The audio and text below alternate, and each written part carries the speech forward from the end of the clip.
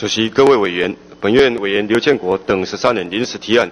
有鉴于全民健康保险局针对无力缴纳保费者，建议停止保险给付（俗称锁卡之手段），使其无从享有国家给予之适当救助，更有因此导致就医延延迟者。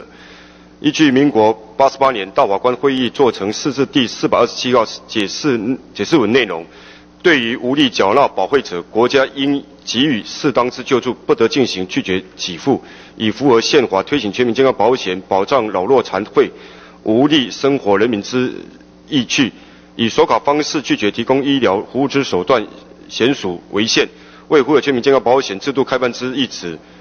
针对目前以及未来可能遭受锁卡之被保险人，要求健保局即刻起应成立反锁卡专线，并成立专责小组，专责负责上述被保险人之通报案件，并主动与社政单位联系，积极对被保险人进行各项救济和和辅导措施，避免健保局停。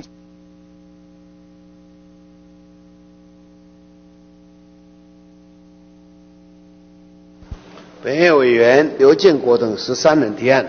本案做如下决议。